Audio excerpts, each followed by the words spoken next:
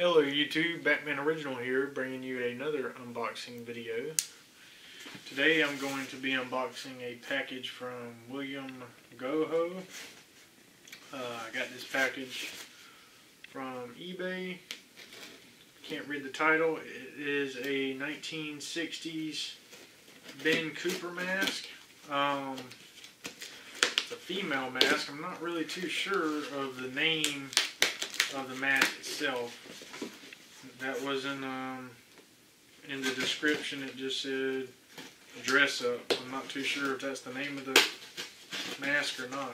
I asked the seller and they had no clue. They said he got it in a estate um, sale.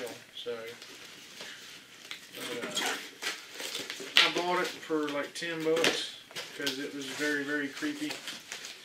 And I like creepy stuff. So, and it's really, really old too. It was a great price for a piece like this. It's just a plastic mask. It's got a little warping to it. It's got a little tear on the side, which that's fine. Made in France for Bayshore, 69 cent. There it is, guys. Female mask. It's got, like I said, a little bit of warping up there. Have to put it on a display head or something, but other than this tiny little crack right here, is in, well, there's one right here too, I just seen. Two little cracks. Oh, another one. Three little cracks. Any more? Obviously, whoever had this didn't take very good care of it.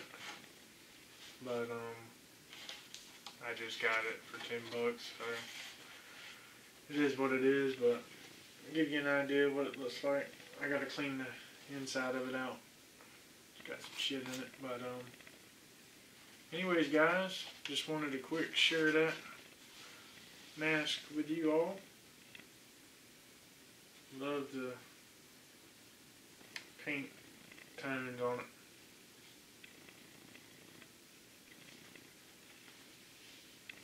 But if you guys know any uh, info on this mask, like I said, I know it's Ben Cooper, but I don't know the name of it. But um, very, very creepy. Anyways, guys, thanks for watching. Stay tuned for more videos because I got a lot more pieces coming in. Done the video up, and we'll see you later.